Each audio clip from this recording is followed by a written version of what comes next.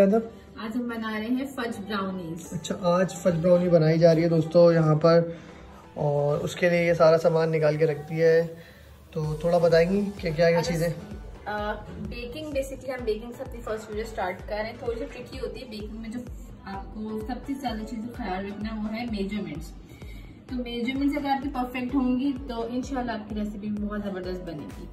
अच्छा तो मेज़रमेंट का थोड़ा सा बताएँगे आप? अच्छा यहाँ पे मैंने मेजरिंग कप यूज़ कर रही हूँ ताकि मेरी मेजरमेंट्स परफेक्ट हो सके और मेरी रेसिपी एकदम परफेक्ट बन सके। तो मैंने यहाँ पे लिया है ये एक कप मैंने ली है चीनी थी मेरे पास जो रेगुलर चीनी होती है उसको मैंने पीस लिया था ठीक है? तो बिल्कुल अच्छा। पाउडर फाइन पाउडर बिल्कुल मैंने कर ली चीनी है।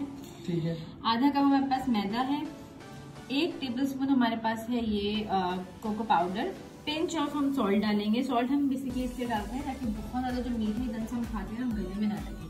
अच्छा। दो यहाँ पे अंडे मैंने लिए हैं जो रूम टेम्परेचर पे हैं। बटर मैंने यहाँ पे लिए तकरीबन 100 ग्राम के जितना मैं इसमें से लूँगी। ठीक है। और एक टीस्पून मैं यहाँ पे लूँगी वेनिला एक्सट्रैक्ट वेनिला एसेंस और 150 ग्राम ही मैंने जो ना ग्रेड करके लेके लिए चॉकलेट है सेमी स्वीट या कुकिंग चॉकलेट हम यहाँ यूज़ करेंगे। चले फिर दोस्तों हम इन्होंने आपको सारे इंग्रेडिएंट्स बता दिए हैं और इंशाल्लाह आपको कोशिश करेंगे कि डिस्क्रिप्शन में भी डाल देंगे इंग्रेडिएंट्स तो चलें आगे आपको प्रोसेस स्टार्ट करके दिखाते हैं कि किस तरह से हम लोगों ने केक बनाना है। केक ब्राउनी तो दोस्तों प्रोसेस स्टार्ट कर दिया है। तो सबसे पहले क्या किया है बताएँगे आप? ये सौ ग्राम मैंने बटर ले, ले लिया है। यहाँ मैं जो यूज़ कर रही हूँ मैं तो इसे रेगुलर बटर यूज़ कर रही हूँ। अगर आप चाहें तो आप जो अनसॉल्टेड बटर है वो भी यूज़ कर सकते हैं। लेकिन रेगुलर बटर भी यूज़ करें तो इस रेसिपी में आप इजीली यूज़ कर सकते हैं। और डेढ़ सौ ग्राम की जितनी यहाँ पे है ये मैंने श्रेड कर ली है कुकिंग चॉकलेट अच्छा इन सब इन दोनों को आपको मेल्ट करना है अच्छे से मेल्ट करने के दो तरीके हैं। एक आपको 45 टू 50 सेकेंड्स के लिए माइक्रोवेव भी कर सकते हैं। वरना इस तरह से मैंने डबल बॉयलर प्रिपेयर कर लिया है। मैंने नीचे पैन में पानी रख लिया है और इस पानी को मैंने अच्छे से गर्म कर लिया। अब इसको मैं बिल्कुल लो करके और अपना बाउल उसके ऊपर बहुत एहतियात के साथ रखूँगी। ऐसे ही डीप बाउल हाँ बहुत ज़्यादा आपने ख्याल रखना है कि पानी बस पानी आपका जो है मिक्सचर में नहीं जाना चाहिए बस। और ओवर बॉइल ना हो। बहुत ज़्यादा बॉइल बहुत ज़्यादा फिल्ड होगा तो ऑटोमेटिकली बाहर ही आ जाएगा तो वो भी ना हो। अच्छा, इसको मैं थोड़ी देर छोड़ दूँगी इसी में खुद ही मेल्ट हो जाएगा। जैसे ही मेल्ट होता है आपको आगे का प्रोसीजर चले दोस्तों जब तक ये मेल्ट हो रहा है तब तक मैं तैयार करता हूँ। तो देख सकते हैं आप चॉकलेट और बटर आपस में काफ़ी हद तक मिक्स अप हो चुके हैं गर्म होने के बाद। थोड़ा सा आगे का बता दें आप अच्छा इसको मैं इस बाउल में से जो डबल बॉयलर है इसमें से निकाल के इसे रूम टेम्परेचर पे आने के लिए दूँगी, थोड़ी देर छोड़ दूँगी यहाँ पे, ताकि थोड़ा सा रूम टेम्परेचर पे क्योंकि बेकिंग में एक बहुत इंपॉर्टेंट टिप होती है कि जो भी चीज़ आप यूज़ कर रहे हैं, चाहे वो आपका कोई मिक्सचर हो एग्स हो शुगर हो बटर हो वट वो सब रूम टेम्परेचर पे होना चाहिए बिफोर बेकिंग तो दोस्तों, जैसा आप लोगों ने सुना कि जितनी भी बेकिंग के आप आइटम्स मतलब बना रहे होते हैं कुक कर रहे होते हैं तो उसको आपने बेसिकली रूम टेम्परेचर पे ही रखना है हमेशा। तो ये भी कितनी देर ये पाँच दस मिनट इसको हम यहाँ छोड़ देंगे तक नेक्स्ट प्रिपरेशन स्टार्ट करेंगे। नेक्स्ट स्टेप पे हम जाएँगे उतनी देर हो जाएगा। चलिए जब तक ये गर्म हो रहा है आपको नेक्स्ट नेक्स्ट स्टेप दिखाते हैं। तो प्रोसेस हम आपको स्टार्ट करने दिखा रहे हैं। उससे पहले मैं आपको बता दूँ कि वो हम लोगों ने ठंडा होने के लिए रखा हुआ है, उसका जो मिक्सचर है।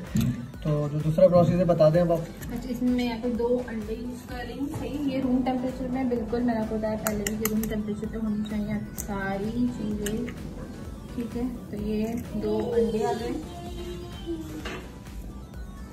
इस अंडे की इस अंडे में मैं डालूँगी एक कप की जितनी जो पिसी हुई चीनी मैंने आपको बताया नॉर्मल जो घर में आपकी शुगर होती है, वो आपने शुगर वही यूज़ करनी है।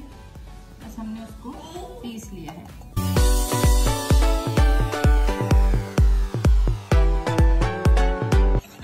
अच्छा से अंडे, दो अंडे और एक कप चीनी की जो पिसी हुई चीनी हमने मिक्स की जो अच्छे से मिक्स हो गई है। पहले चीनी पिसी हुई थी तो इतनी ज़्यादा एफर्ट्स की इसमें ज़रूरत है भी नहीं।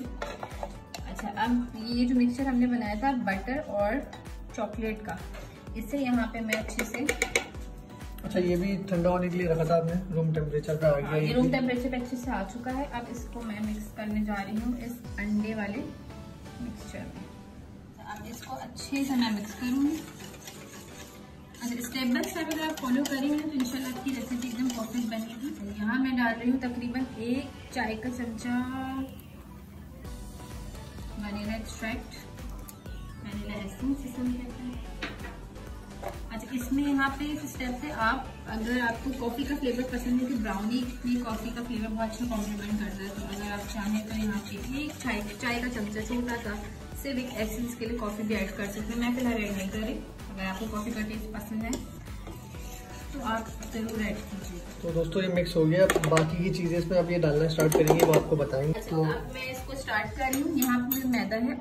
आधा कप के जितना मैदा है इसे तक इसे मैं यहाँ पे छान के डालूँगी। छानने से ये होगा कि एक तो जो भी होंगे लम्स होंगे मैदा में वो आपके बिल्कुल का खत्म हो जाएँगे और प्लस आपका जो है ब्राउन बस फ्लफी सी बनेगी। अच्छा एक टेबल स्पून जितना है मेरे पास यहाँ पे कोको पाउडर इन दोनों को मैं छान के यूज़ करूँगी। देखिए जो लम्स थे सब इसके ऊपर रह जाएँगे। और इजीली हमारी जो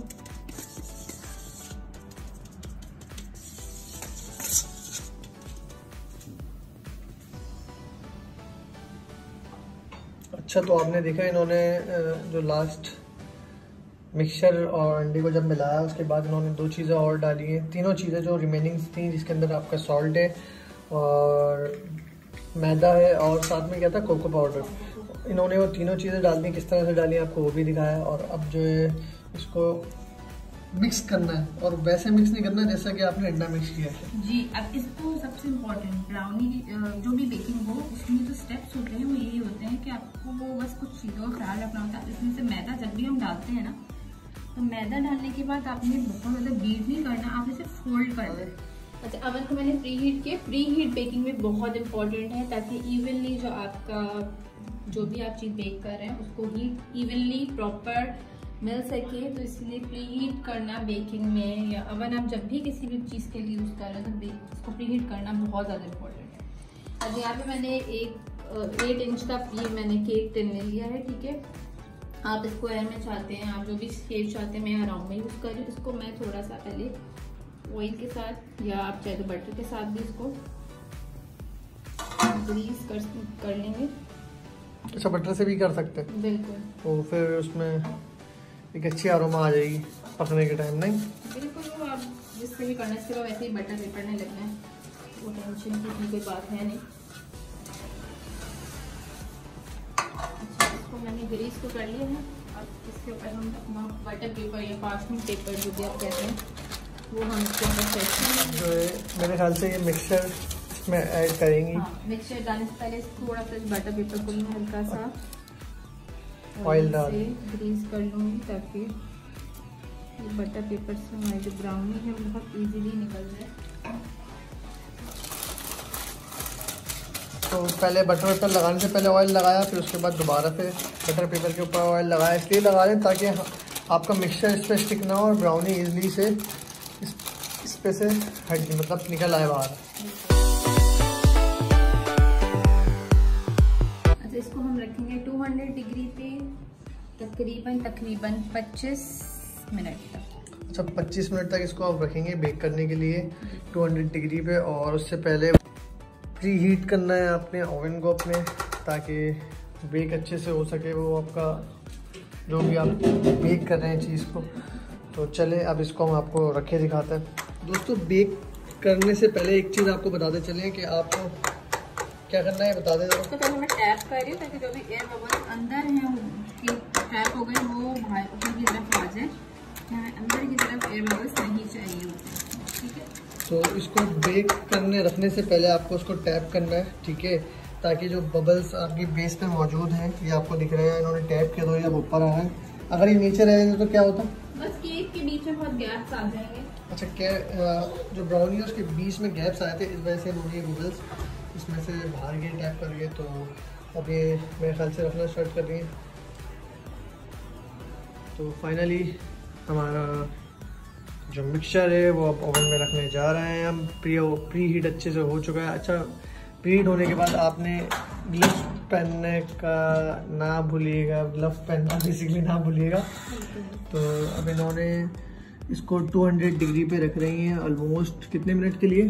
25 मिनट 25 मिनट के लिए। मैं नीचे वाली ग्रिल ऑन कर रही हूँ। और इन्होंने अब इसकी ग्रिल कर दी नीचे वाली ऑन ठीक है पहले प्री हीट के लिए दोनों ऑन की थी ये वाली। अब इन्होंने कर दी है सिर्फ़ नीचे वाली हीट ऑन और ये 20-25 मिनट पकेगा 200 डिग्री के ऊपर। तो जब तक ये पक रहा है, तब तक हम इंतज़ार करते हैं दोस्तों। फिर आपको दिखा दोस्तों फाइनली ब्राउनी निकालने का हमारा टाइम आ गया है तो सबसे पहले हम इसको बंद करते हैं। और बहुत ही इसमें से गर्माइश आ रही है तो ज़रा एहतियात से निकालना है अपने ग्लव्स पहन के। तो ब्राउनी देखें माशाल्लाह से इसकी शक्ल कुछ इस तरह से आई है। बेहतरीन। और ये ऑलमोस्ट कुक लग रहा है। तो हम इसको ट्राई करेंगे। और फिर हम इसको पहले निकालेंगे इसमें से। अच्छा तो उसको हम लोग चेक कैसे करते हैं कि अच्छा, इसका चेक करने का बड़ा आसान तरीका कोई भी आपने टूथपिक या छुरी अगर आपके पास है तो आपने वो डालनी है। सही है। अंदर तक पूरे सेंटर से और अगर वो बिल्कुल क्लियर आ रही है तो इट मीन्स कि आपकी ब्राउनी या केक जो भी है वो बिल्कुल रेडी है। ओके तो इसका मतलब है हमारा केक जो है हमारी ब्राउनी जो है बेसिकली वो रेडी हो चुकी है। और अगर आपको ये रेसिपी ट्राई कर, पसंद आई है तो प्लीज़ इसको ट्राई कीजिएगा और ट्राई करके हमें कमेंट सेक्शन में ज़रूर बताइएगा कि कैसी बनी और कैसी नहीं। तो मिलते हैं आपसे अपने नेक्स्ट वीडियो में। तो अपना बहुत ही ख्याल रहिएगा तब तक के लिए अल्लाह हाफ़िज़।